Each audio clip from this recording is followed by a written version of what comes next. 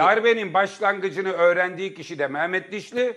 Birlikte Çankaya Köşkü'ne helikopterle gittiği kişi de Mehmet Dişli. Şimdi önce şu Mehmet Dişli'den bir konuşmak lazım. Neden? Peki bu Mehmet Dişli kim? Yani senin kafana bu silahı, dayı, silahı dayadılar ya. Bu noktaya nasıl geldi? O konuda ilk kez bu programda bir şeyler söyleyeceğim. Mehmet Dişli ile Hulusi Akar'ın yolları bu olay yaşanmadan 15-16 yıl önce ilk kez yani resmen kesişiyor. Nasıl kesişiyor? 2000'de Mehmet Dişli NATO karargahına yollanıyor. Onu NATO karargahına görevlendiren komutan daire başkanı Hulusi Akar. 2000'den beri sürekli Mehmet Dişli ile beraberler.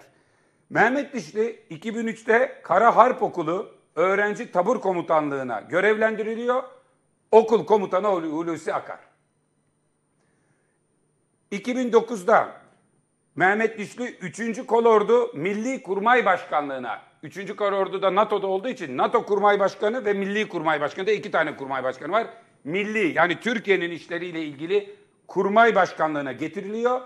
Getiren kişi 3. Kolordu Komutanı Hulusi Akar. 2012'de Genelkurmay Proje Yönetim Daire Başkanlığı'na atanıyor Mehmet Dişli. Kendisini Genelkurmay 2. Başkanı'na bağlı çalışacak. Genelkurmay 2. Başkanı Hulusi Akar. Bu birim daha sonra Stratejik Dönüşüm Başkanlığı adını alıyor Mehmet Dişli o görevdeyken. Akar ikinci başkanken ve Kara Kuvvetleri Komutanı iken de bu birimde Mehmet Dişli'yi tutuyor.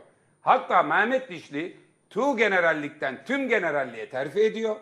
Yaptığı görev bu daire başkanlığı tüm generallik, tu generallik bir kadro. Tüm general olunca oraya bir tu general atayıp bunun dışarıya gitmesi lazım.